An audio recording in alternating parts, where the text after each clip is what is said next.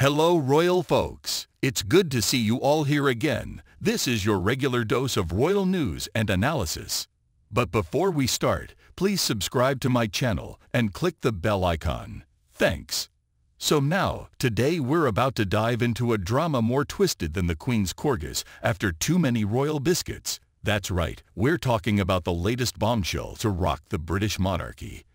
24 dukes, count them, 24, have signed a petition to strip our boy Harry of his royal title and kick him out of the succession line faster than you can say, Megxit. Now, I know what you are thinking, but wait, can they actually do that? Well, grab your popcorn and your favorite cup of Earl Grey, because we're about to unpack this royal mess like it's a suitcase full of dirty laundry, which, let's be honest, is pretty much what Harry's been airing for the past few years. First off, let's talk about these dukes. We're not talking about John Wayne here, folks. These are 24 of England's finest blue bloods, the creme de la creme of the aristocracy, the top tier of the Toff Tower. And they are MAD.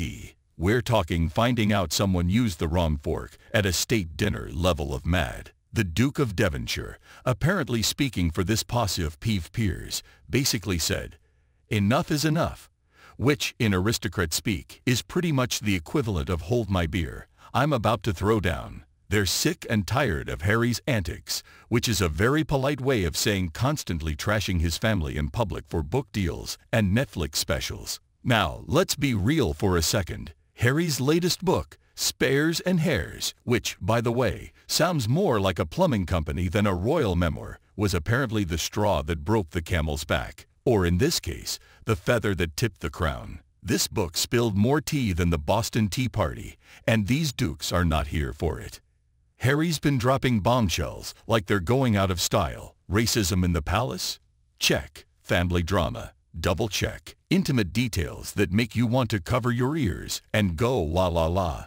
Oh, you better believe it. It's like he's trying to turn the monarchy into a reality show. Keeping up with the Windsors, anyone. But here's the kicker. These dukes aren't just mad. They're scared. They're worried that Harry's loose lips might sink the royal ship. And let's be honest, the monarchy's been through more storms than a British summer, but this might be the tempest that tips the teacup.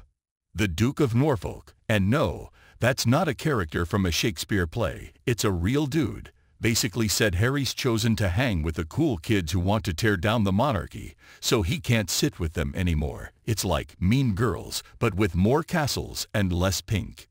Now, stripping someone of their royal title isn't like taking away a kid's Xbox privileges. This is big boy stuff. These dukes know they're playing with fire, and they might get burned. But they're all, bring it on. We've got a duty to the crown, and we're not afraid to get our fancy gloves dirty. Can we talk about Harry's response for a hot second? Our boy came out swinging, calling the dukes a cable of outdated power-hungry relics. Ouch. That's gotta sting more than the time Prince Philip tried to make small talk at a foreign dignitary dinner. Harry's basically saying, you can't fire me, I quit. But honey, I hate to break it to you, but they're not just firing you. They're trying to erase you from the family tree faster than you can say 23 and meh. Now I know some of you out there are thinking, but isn't this all a bit harsh? Poor Harry. And look, I get it. The guy's been through a lot. Lost his mom, grew up in the public eye, married a woman who makes the tabloids salivate more than a dog at a butcher shop. But here's the thing. Being a royal isn't just about fancy hats and waving from balconies. It's a job, and a tough one at that. These dupes are basically saying, look, Harry, you had one job. Smile, wave, cut ribbons, and don't air the family's dirty laundry. And buddy, you've failed spectacularly. It's like if I showed up to work in my pajamas, told all my coworkers their breath stinks, and then wondered why I got fired. Actions have consequences, even if you're sixth in line to the throne. But let's zoom out for a second and look at the bigger picture. This isn't just about Harry. This is about the future of the monarchy itself. These dukes are drawing a line in the sand, probably with a very expensive monogrammed stick, and saying, this far, no further. They're like the bouncers at the world's most exclusive club, and Harry just got his VIP pass revoked. And can we talk about the timing for a hot second? The ink on Queen Elizabeth's obituary is barely dry. King Charles is still trying to figure out which crown goes with which outfit. And now this. It's like the royal family can't catch a break. They're dealing with more drama than a Shakespeare festival, and it's all playing out on the world stage. But here's where it gets really interesting. This move by the Dukes isn't just about punishing Harry. It's a message to the whole world. Mess with the monarchy, and you'll get the horns. Or in this case, the very pointy end of 24 dukedoms. They're basically saying, We've been around for centuries, and we're not about to let some ginger prince with a grudge and a ghostwriter take us down. Now, I know what some of you are thinking, but isn't this all a bit medieval? Stripping titles, banishing princes. It's all a bit Game of Thrones, isn't it? And you're not wrong. But here's the thing. The monarchy is medieval. That's kind of their whole stick. They're not supposed to be modern and relatable. They're supposed to be this ancient, mysterious institution that somehow still matters in a world of TikTok and crypto. And that's what Harry doesn't seem to get. He wants to have his cake and eat it too. He wants the perks of being royal without any of the responsibility. He wants to be able to trash his family in public and still get invited to Christmas dinner at Sandringham. Sorry, buddy, but that's not how this works. You can't be half in, half out of the royal family any more than you can be half pregnant. So, what's next for our favorite royal rebel? Will he fight this decision?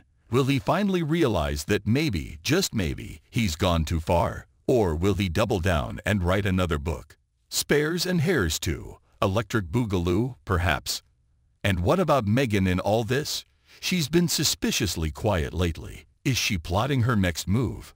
planning another Oprah interview? Or is she just sitting back, eating popcorn, and watching the fireworks like the rest of us? One thing's for sure, this drama is far from over. The royal family has weathered many storms, from Henry VIII's marital musical chairs to Edward VIII's abdication. But this, this feels different. This feels like a turning point. The monarchy is at a crossroads. On one side, you have tradition, duty, and 24 very angry dukes. On the other, you have Harry, modernity, and a Netflix deal. It's like watching a very posh, very British version of Civil War. And honestly, I'm here for it. Because let's face it, folks, in a world that can sometimes feel a bit too serious, a bit too doom and gloom, we need this kind of ridiculous drama. It's like a pressure valve for our collective stress. Who cares about global warming when Harry's getting his royal butt kicked by a bunch of dukes? So, here's to you, Prince Harry, you magnificent chaos agent. May your drama never cease, may your tea always be piping hot, and may you always have a Netflix camera crew nearby to capture it all. And to you, my dear YouTube fam, what do you think about all this royal ruckus? Are you Team Dukes or Team Harry? Or are you like me, firmly on team pass the popcorn? Let me know in the comments below. And hey, if you enjoyed this royal roasting session, don't forget to smash that like button, subscribe to the channel, and hit that notification bell. Because trust me, with the British royal family, there's always more drama just around the corner. Until then, thanks for watching. We'll see you again with some more fascinating news about the royal family. Thank you.